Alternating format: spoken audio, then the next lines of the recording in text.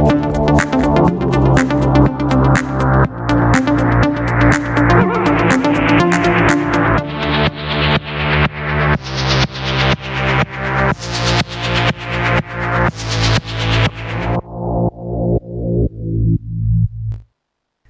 Buenas noches, bienvenidos a nuestro PTV Deportes de este viernes 17 de mayo, previa del último viaje del Córdoba en la temporada regular. Ojalá le queden dos desplazamientos más al Córdoba en el periodo de ascenso, uno garantizado. El Córdoba quiere ser segundo para tener ventaja de campo en la promoción de ascenso a la Liga Hypermotion y eso pasa por puntuar en Ibiza, que es el rival directo.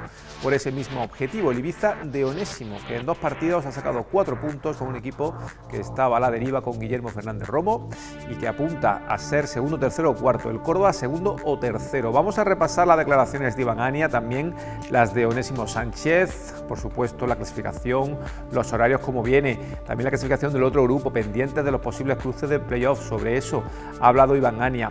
Unos playoffs, por cierto, que arrancan ya este fin de semana en Segunda Federación, de tercera a segunda. Quieren dar el salto tanto el Ciudad de Lucena como el Pozo Blanco, aunque solo puede quedar uno, que siga la estela del Jerez. En nuestro programa vamos a tener también hueco para fútbol playa, para voleibol y para balonmano. Eso lo dejamos para la recta final. Ahora vamos ya con la previa de ese partido del Córdoba, que juega en Camises. Es su primera visita a Ibiza a lo largo de su historia.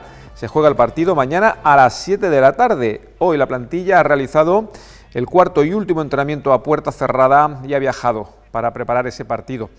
Viene de ganar el Córdoba por 3 a 0 al sanluqueño, dejando atrás ese mismo resultado en el campo del Recreativo Granada con los goles de Adilson, Calderón y Quique Márquez de penalti. Al día siguiente respondió el Ibiza con una victoria por 1-3 en Castellón, así que el Córdoba sigue necesitando un puntito en las dos últimas jornadas para acabar segundo. Puede hacerlo en Ibiza mañana o si no, el sábado 25 a las 7, también con horario unificado para la última jornada, contra el Algeciras en el Arcángel. Hay plan antiferia, por cierto, lo ha apuntado Iván Ania, que es una decisión para evitar distracciones. Se van a concentrar los jugadores en Montecastillo entre el miércoles 22 y el viernes 24. Y ese día, el viernes, harán noche en un hotel en Córdoba para seguir concentrados y preparar ese último partido contra el Algeciras. Esperemos que sea prácticamente de trámite porque el Córdoba ya tenga garantizada la segunda posición. Por si acaso, al Ibiza le queda también otro episodio complicado ¿eh? en Huelva contra el Recreativo para esta jornada 38, sería ya en el grupo 2 de Primera Federación. El Córdoba, veremos los posibles 11 eh, cambios en el 11. Uno prácticamente seguro, el de Martínez, que ha estado al margen del grupo durante toda la semana, ha viajado, pero tiene pocas opciones de jugar. Entró Albarrán, Diarra, Adilson y Toril como novedades después del tropiezo en Granada. El equipo respondió con una victoria convincente. La Peña y Calderón afianzados en los eh, laterales, Carlos Marín en la portería, La Peña en el eje de la zaga, probablemente mañana acompañado por Matías Baraboza. En el doble pivote en principio estarían Diarra e Isma Ruiz, que jugó 16 partidos en segunda división con el Ibiza la temporada pasada. Carracedo, si es titular, mantendrá su pleno de 37 jornadas como titular, ¿eh? que se dice pronto Carracedo, que está percibido, ahora lo comentamos. Cookie Salazar en la media punta se ha afianzado por delante de Quique Márquez, a la izquierda Adilson en su competencia con Simo y arriba Toril. También opta al puesto Antonio Casas, que fue reservado en el último partido por el golpe que sufrió en los Cármenes. Apercibidos, ojo, Toril, Carracedo, Cookie Salazar y Carlos Marín. Tienen cuatro amarillas. Si el Córdoba saca el partido adelante, es el mejor de los escenarios, que saque el partido adelante en Ibiza y que ya el siguiente partido contra Algeciras, como decimos, sea de trámite, así que cualquiera de los cuatro podría perdérselo sin problemas. Lo complicado, lo grave sería que vieran la quinta amarilla en el último partido, porque entonces se perderían el primero del playoff. Eso hay que tenerlo muy en cuenta. Y tenemos con cuatro a Toril, a Carracedo, a Cuqui y a Carlos Marín, y con tres Antonio Casas, a Simo y a Calderón.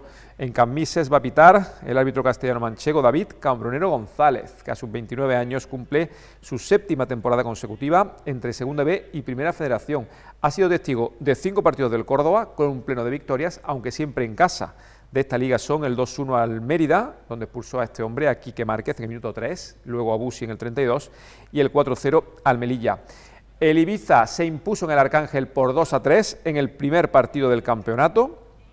Recupera a Alex Gallar, se pone a las órdenes de Onésimo Sánchez, que ha disputado de momento dos partidos, 0-0 en casa con el Real Madrid Castilla, 1-3 al Castellón, remontando además el gol inicial de Raúl Sánchez después de que Borja Granero fuera expulsado. Al verse con uno más, el Ibiza remontó con un doblete de Suleiman y un gol de Cedric. El Ibiza está a seis puntos del Córdoba y tiene tres de renta sobre el Málaga, con el que tiene perdido el golaveras particular. Ahí está la lucha entre ellos, entre el segundo, el tercer y el cuarto puesto. El once tipo, por cierto, veremos si con una novedad la portería, porque hoy mismo el Ibiza ha anunciado el fichaje del portero René Román, de 40 años. Se lesionó Sequeira en el calentamiento en Castalia, jugó Reinet y en el, por delante un 4-2-3-1 con una Medina, Escasi, Pepe Sánchez, Javi Jiménez, Olave, baja al ver la quinta amarilla, Eugeni, Suleimán, Rubén Díez, Arturo Molina y el nigeriano Cedric. A buen seguro, Alex Gallar tendrá un hueco en la alineación contra el Córdoba. Iván Anía es consciente del potencial que el Ibiza demostró, sobre todo en la primera vuelta, que fue espectacular. Tiene jugadores experimentados y más presionantes y valientes ahora con Onésimo, con Guillermo Fernández Romo, eran más de nadar y guardar la ropa. Quiere asegurar el Córdoba la segunda posición en un simulacro de playoff como visitantes.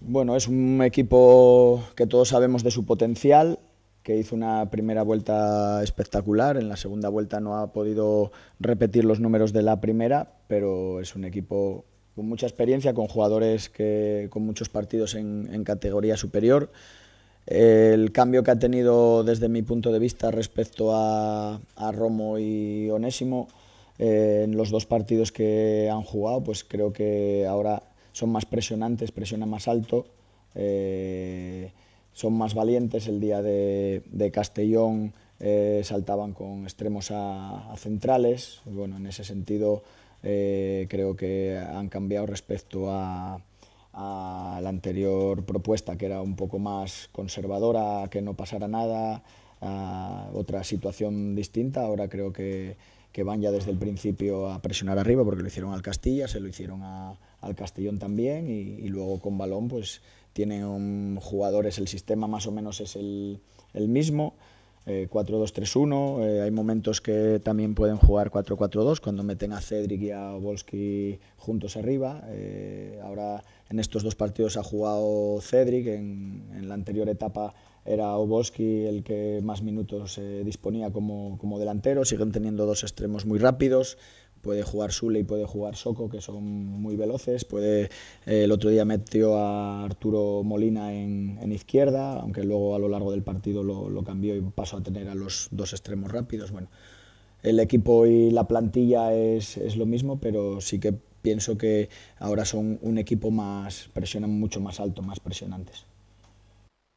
Queremos asegurar la, segunda posición y, vamos con esa intención de, ganar el partido, de sacar los, tres puntos. Sabemos de la dificultad del partido, del rival. Bueno, es un partido pues parecido al de playoff, pero como, visitante. No exactamente igual, pero sí que Ibiza es un equipo que va a estar en, en playoff y, creo que lo tenemos que afrontar de esa, de esa manera. ¿no?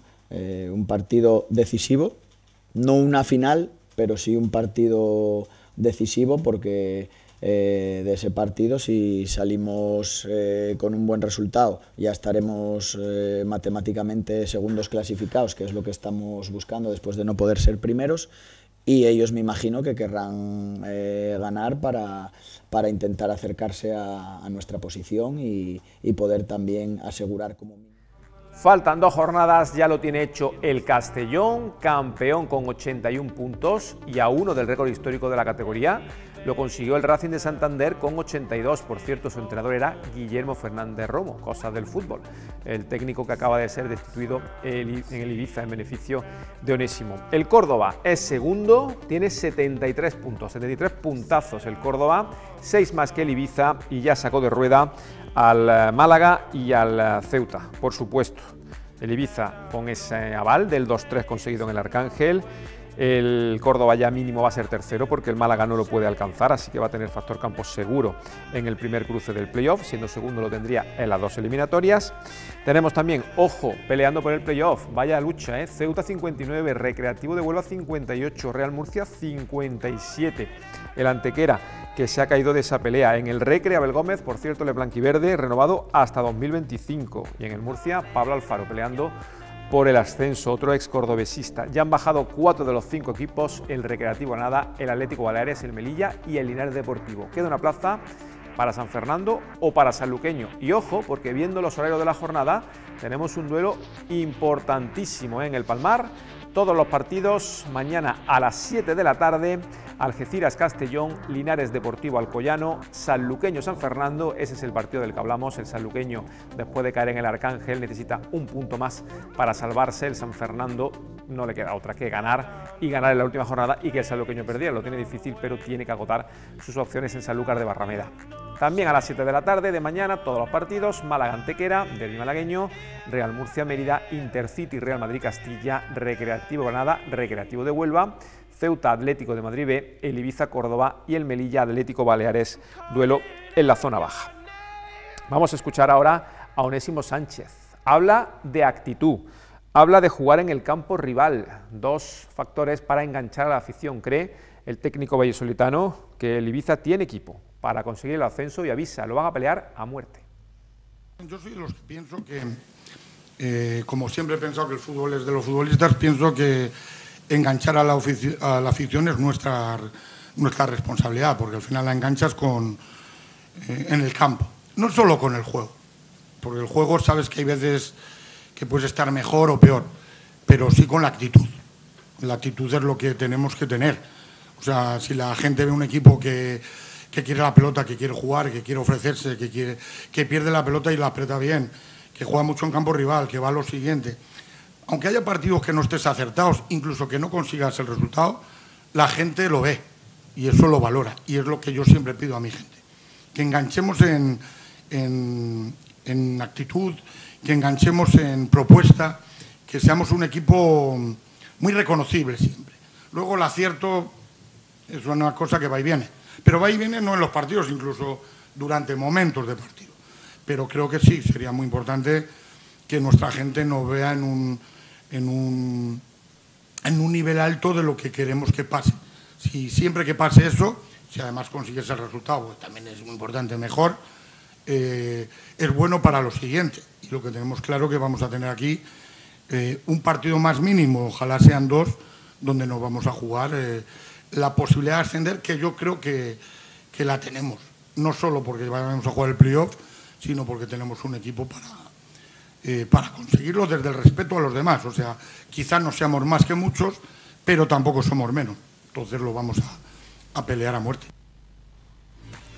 Tanto Nésimo como Iván Ania están muy atentos a lo que viene sucediendo en el Grupo 1, donde el Deportivo de La Coruña ya ha conseguido el ascenso, lo hizo la semana pasada con una victoria por 1-0 frente al Barça B. El equipo entrenado por Imanol Idiáquez ha vuelto al fútbol profesional cuatro años después con una racha impresionante 17 jornadas sin perder, 45 puntos de 51 posibles para colocarse con 74. Sin embargo, es solo uno más que el Córdoba. ¿eh? También hay que valorar ahí la trayectoria del equipo blanquiverde. En el playoff tenemos al Barça Athletic con 67, al Nastic de Tarragona con 64, los mismos que el Celta Fortuna, y con 63 a la Ponferradina, que saca 6 puntos a la Cultural Leonesa, aunque tiene perdido el gol particular. En cualquier caso, a falta de conocer cómo se ubican, todo apunta que los que van a jugar el playoff van a ser los filiales del Barça y el Celta el Nastic y la Ponferradina, que sería el hipotético rival en la primera de las dos eliminatorias del Córdoba, ambas con la vuelta en el Arcángel. La final sería contra el ganador, ahora mismo, del cruce entre el Málaga y el Nastic. Por el otro lado del cuadro iría los dos filiales Ceuta Barça Athletic y Celta Fortuna Ibiza. Todos son buenos equipos, eh, Barça B, Celta B, eh, Nastic, Ponferradina son perfiles distintos. ¿eh? Barça B y Celta B son dos, filiales con una propuesta muy dominadora. Eh, el Barça con un sistema definido, aunque tiene sus variantes, que ahora mete el, lateral derecho, pasa a ser medio centro, como un doble pivote. El Celta, pues ya le conocemos de la temporada pasada, han cambiado de entrenador, pero siguen manteniendo la misma, la misma propuesta y luego el Nastic y la Ponfe pues ya son dos equipos totalmente distintos a, esas propuestas, son equipos ya eh, senior, equipos con gente con experiencia, que están ahí por méritos propios, evidentemente. El, la Ponfe ha tenido un cambio de, de entrenador, cuando estaban con Íñigo Vélez eh, jugaban con, con, tres centrales, em, con Juan Fran empezaron algún partido con tres centrales, los últimos están jugando con, con, cuatro defensas. Bueno, sí que les hemos visto, pero cuando sepamos el rival que nos, que nos toca, ahí les estudiaremos más, más a fondo. Pero ya te digo que cualquiera de los cuatro que, que nos toque va a ser un rival difícil, igual que cualquiera del otro grupo que nos, le toquemos nosotros el Ibiza, el Málaga y el que, o el que entre de, de quinto, seguro que van a pensar lo mismo que pensamos nosotros de ellos. O sea que si un equipo es capaz de llegar a esas posiciones en 38 jornadas es porque lo ha hecho muy bien y que todos van a ser rivales difíciles.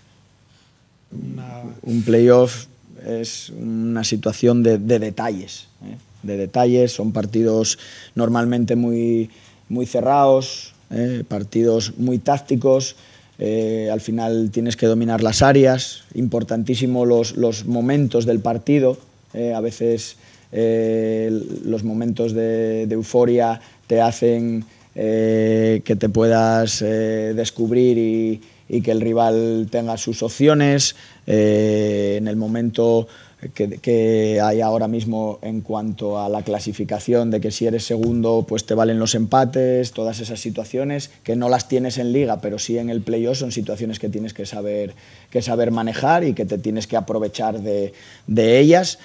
Pero está claro que en segunda, en segunda división normalmente el que entra de sexto es el que suele estar subiendo, pues porque viene en una dinámica, de, en una dinámica positiva. A veces el ir mucho tiempo eh, arriba en la clasificación te produce un desgaste eh, muy grande. Bueno, aunque creo que lo mejor es en el momento que piten el final contra, contra el Algeciras resetear, pensar ya en el, en el playoff y, hasta ese momento solo pensar en, en, liga. Soy de los que piensa que es mejor entrar con buenas sensaciones de resultados que con malas, pero he visto hace dos años que el Albacete entró con malos resultados después de ir toda la liga arriba y sin embargo terminó ascendiendo ganando al Depor en su casa. O sea que nunca sabes qué puede suceder porque los detalles son al final los que determinan eh, si, si vas a salir victorioso o vas a salir perdedor. Este fin de semana arrancan otros playoffs de ascenso, los de tercera a segunda federación. Y estaremos muy atentos porque tenemos a dos representantes cordobeses en liza, el Ciudad de Lucena y el Pozo Blanco. Hay que superar tres eliminatorias, dos a nivel autonómico y otra a nivel nacional. Tenemos el domingo a las 5 de la tarde Ceuta B, Ciudad de Lucena, la vuelta el domingo 26 a la misma hora y el domingo a las seis y media Pozo Blanco Jerez Deportivo, con la vuelta el domingo 26 a la misma hora en Chapín. En el grupo décimo de tercera, el ascenso directo ha sido para el Jerez y el descenso para el Cabecense, con esta derrota 3 a 0 en Lucena la semana pasada, aunque ya estaba sentenciado. También han bajado el Ayamonte y el Sevilla C. El Saler Puente Genil acabó sexto a dos puntos de la promoción y el Córdoba B y el Atlético Espeleño se salvaron en la penúltima jornada en la que se enfrentaron en el Arcángel con resultado de empate a tres en el estreno de Gaspar Galvez como técnico del filial. En balonmano, el Ángel Jiménez Puente Genil vuelve a la carga, con el lastre de siete derrotas consecutivas entre la Liga Sobal y la Copa del Rey. El equipo de Paco Bustos debe rematar la permanencia en las dos últimas jornadas. ¿Cómo se le ha complicado? Eh? Tiene que evitar caer al puesto de play-out. Está empatado con el Revi Cuenca con 23 puntos. Con 20 tenemos al Frigoríficos del Morrazo Cangas. Al Ángel Jiménez le queda recibir al Freiking Granollers, que es tercero la cita mañana a las 6 de la tarde en el pabellón Alcalde Miguel Salas y visitar al Blendio Sin Fin, penúltimo en Santander. Ese partido fijado el sábado 25 a las 5 en la Albericia. Este fin de semana, además, el Cajasur Córdoba y el Adesal disputan la fase de ascenso a la División de Honor Plata en Zarautz y a la Liga Guerrera Ciberdrola en Lanzarote, respectivamente. El Ángel Jiménez Puente Genil, en balonmano, el Real Club Priego en tenis de mesa y el Córdoba Patrimonio de la Humanidad en fútbol sala son los tres representantes del deporte cordobés en la máxima categoría nacional hasta ahora, porque el minuto 90 Córdoba da el salto a la primera división de fútbol playa al aceptar la invitación de la Real Federación Española de Fútbol. Tras su buen papel en segunda división la temporada pasada, el equipo dirigido por el técnico vigués Celso Rodríguez cubre la baja del Melistar en una liga que arrancará el próximo viernes 24 de mayo con otros nueve equipos: Torrejón, Roses Playa, Playas de San Javier, Fútbol Playa Marbella, Victoria Beach Soccer, Santa María, Fútbol Playa Huelva, En Pie, Málaga Fútbol Playa y Atlético Torroxeño. Terminamos con voleibol. El noveno campus Ciudad de Córdoba Rafa Pascual prevé la participación de cerca de 200 niños y niñas de distintas ciudades españolas entre el 1 y el 5 de julio. El evento está organizado por la Academia Voleibol Córdoba y cuenta con la colaboración de la Diputación y el INDECO. Fundada en 2016, la Academia cuenta con más de 300 jugadores y 21 equipos en diferentes ligas provinciales y federadas y en los Juegos Deportivos Municipales. Mientras el campus ha ido creciendo de forma exponencial. El año pasado contó con la participación de 180 niños procedentes de diversas provincias, no solo de Andalucía, y este año incluso se ha habilitado una residencia para ellos. Entrenadores de primer nivel como Begoña Sáez adiestran a los pequeños en una cita en la que también se involucran seleccionadores internacionales como Fernando Morales, leyendas como Marta Hens y jugadores actuales de la selección española.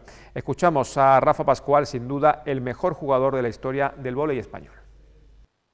Cuando una persona cae en una ciudad con un proyecto como el que empezamos en el 2016, con un campus en el cual eh, deciden eh, poner este nombre que estaba diciendo tan bonito como, como, el nombre de la ciudad y de la Academia de Córdoba y unir mi nombre a este proyecto eh, de niños, de familias, no lo olvidemos, yo me puse un poquito nervioso, ¿no? porque dije, vamos a ver, esto ya no es ni un equipo ni una cuestión profesional, estamos hablando de formación, estamos hablando de críos, de niños, de familias, y, bueno, fue cogerme el tren rápidamente para hablar con nuestros fantásticos técnicos. En este caso me unía, evidentemente, quien no conoce también en el mundo del vóley y en el mundo del vóley andaluz a Rafa Vargas. De hecho, le llamé, me dijo, cógete un, tren, vamos a hablar de todo este proyecto, va a ser, esto va a ser un proyecto hecho con el corazón, un proyecto eh, bonito y un proyecto profesional a partir de mañana a las 2 de la tarde nos vamos de feria con nuestro programa especial de, nuestra caseta, la bodega de PTV, desde el recinto ferial del Arenal, en ese programa conducido por nuestra compañera Amparo Muñoz. Ahí estaremos contando todo lo que ocurra en el Arenal. Nosotros volvemos el lunes ya con PTV Deportes integrado en PTV Noticias. A partir de las 8 y media, nuestro próximo dentro del área será el siguiente lunes, lunes 27, con la liga recién concluida y ya con los cinco sentidos puestos en el playoff de ascenso a división. Disfruten del fin de semana, diviértanse. Buenas noches.